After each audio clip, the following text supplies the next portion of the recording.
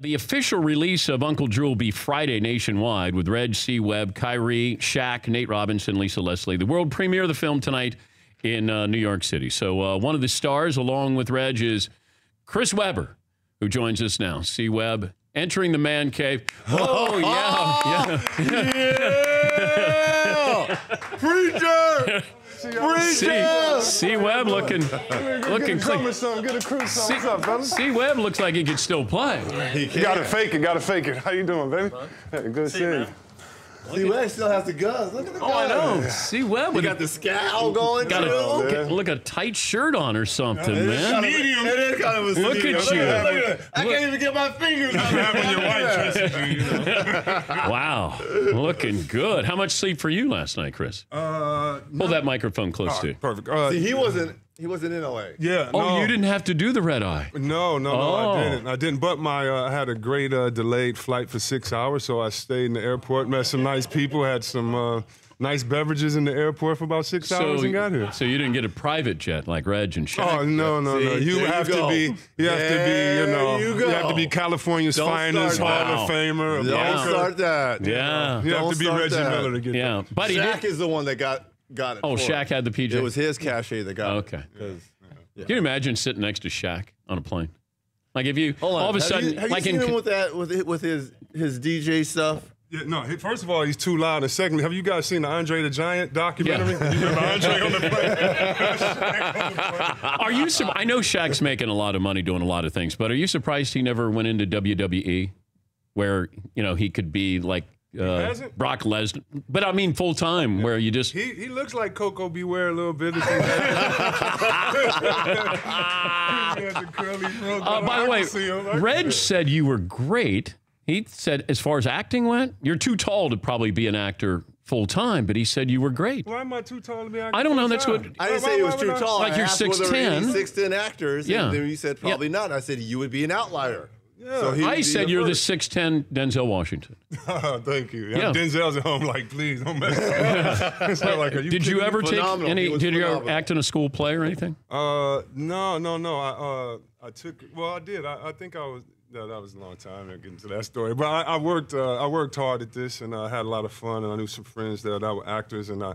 You know, I've seen you and you know in your great Adam Sandler movies. You know, I took a little right. inspiration from That's the guy over here. You know what I mean? Yeah. But, uh, We gain inspiration from That's you. just game recognizing game right there. That's That's what all that it is. is. But, but okay, but who did you talk to about acting?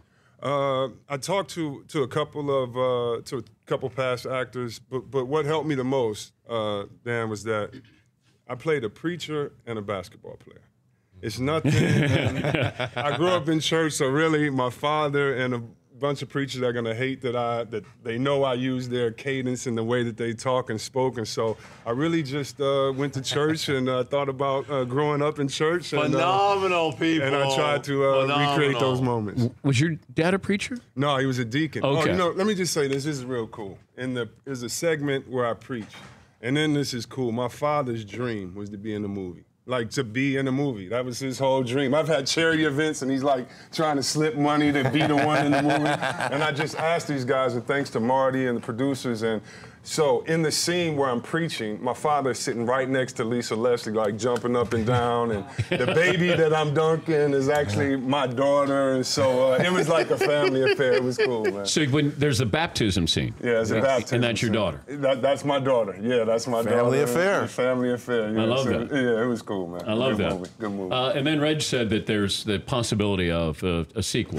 Where? yeah, man, you bring that out, man. Wait, didn't you guys I hear heard that? it. Yeah. Yeah. You said, is there a possibility that Of a sequel. Yeah, get the business right, Reg. Yeah. Well, how much was makeup? How long? How many Oh, hours? well, you know, we gotta Now, they're gonna have to up the oh, price. Oh, yeah. Three hours of makeup, See, Monday through Friday. That's bad. yeah. Three hours Bad. of makeup. I don't know what a diva is, but I'm a diva after three hours of makeup because I'm not doing it no more. No. Once you get through the three hours and it's time to actually work, we had so much fun. But sitting in that chair for No, three hours, death. Yeah.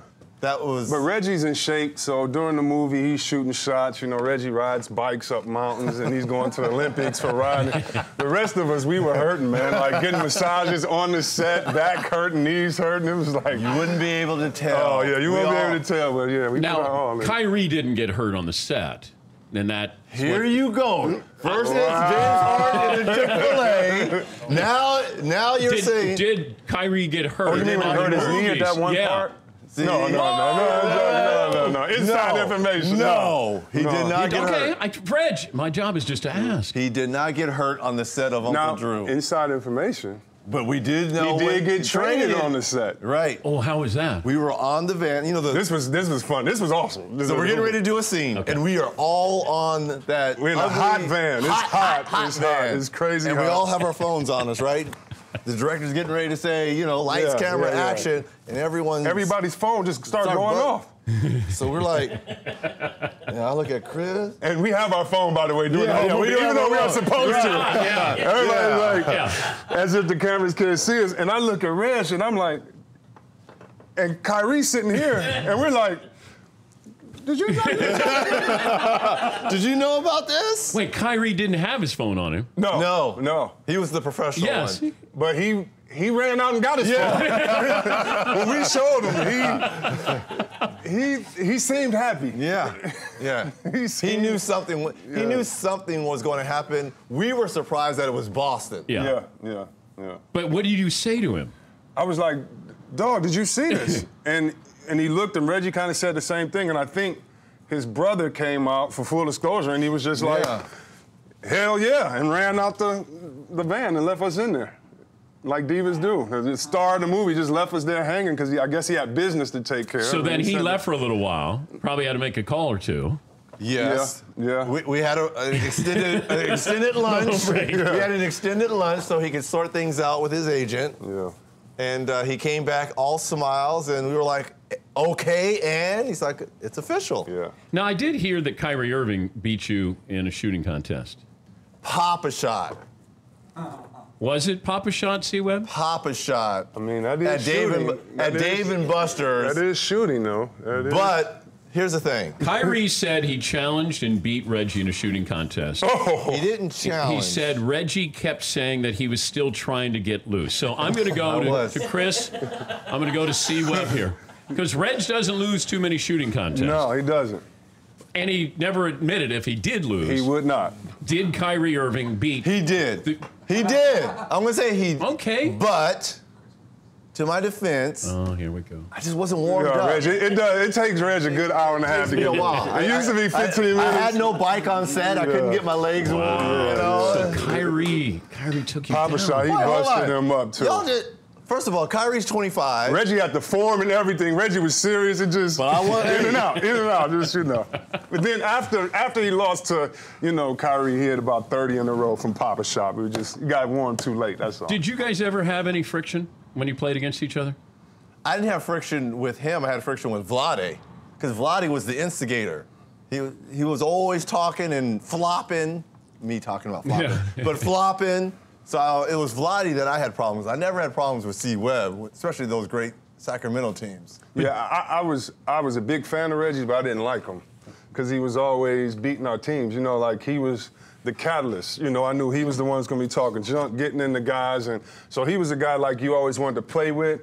But when you're playing against him, you just hate him. He's talking junk. You saw what he did to the Knicks. You see him kicking out. This is the human kickstand I've named him because when he shoots the three, all that, that leg stuff that he complains about when we do games, Yeah. yeah he, he might have helped Because invent all that. we were just talking about Dirk Nowitzki. Should that be legal that he lifts that knee up? And I mean, it, so he creates separation. He's seven feet. I mean, it's he's unstoppable when he And gets. And Durant has Yeah. it now. Yeah. Yeah, but he can't do the knee. If, if I'm up on Reg like this, you can't just knee me. So you already have to have that space. So Dirk, one of the greatest scorers ever, he does that after he has the space. So it's not as unfair. He's not maybe. creating the space. He's just keeping the space. Yeah, exactly. Yeah, he's not giving you the knee and pushing off. You But know. but Reg used it as a weapon. oh yeah. Oh, or he would I, I trip used to you. yeah. love tripping and leg whipping people. I used to love. Leg whipping. Oh God, I, it was like a joy to me. I think you we'll gonna run out again. here? I'm gonna. Tripping oh, and it was the best. But then you would draw the foul Yes, too. and looking at you, dummy, you oh. big dummy. And then he he'd go there. How many times did you bounce the ball? Seven or Six. Eleven? Six. And you bounce the ball and he would get real low and hit the Shoot. free throw. It, it, it Go get pissed us rosin. off. Yeah. Go All back. this pageantry while he's doing it. Let alone he comes out doing a Michael Jackson, you know, every game. But Vlade probably created a lot of situations oh. that his teammates had to clean up for, right? let's, let's just think about it. The flopping came in through the European player. A thousand percent. Why? You see soccer? Yeah. you see this stuff in soccer. This is the worst flopping in the world. Yeah. With Vlade, Sharoon, it's all these guys brought over because during practice they're actually playing soccer. So they brought that culture over. And Reggie did it where, you know, maybe you bump him once or twice, and the third one is a fake Gotta flop. sell it. These guys would just come over Paulie, to you. you got to sell it, right? You got to sell it. and I would always say to Vladi, man, we got to chill with the flopping, man. We're not going to get respect. with Shaq coming in, now they don't know if it's a charge or not. We gotta, Vlade, Vlade would have played for Duke. oh, oh, yeah, yeah, yeah. All right, we're going to take a break. Uh, C. Webb and Reggie will uh, stay with us. Yeah. Top of next hour. Chris Webber going back to Michigan. Yeah. Yeah. we got to find out about that. Yeah. I got questions myself about Yeah. that. Questions, you going to interview and stir the Yeah, pot up? I want to, hey, it's about time. For more Dan Patrick Show, tune to Audience Channel 239 on DirecTV or download the Dan Patrick Show app.